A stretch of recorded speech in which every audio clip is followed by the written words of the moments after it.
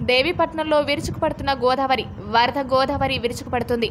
రోజు రోజుకి ఉధృతిగా ప్రవహిస్తూ గ్రామాలపై దూసుకువస్తుంది దశాబ్దాల కాలంలో ఎన్నడూ చూడని వరదను ప్రజలు చూస్తున్నారు. దేవీపట్నం మండలాన్ని గోదావరి వరద చుట్టుముట్టి ఉక్కిరి బిక్కిరి చేస్తుంది.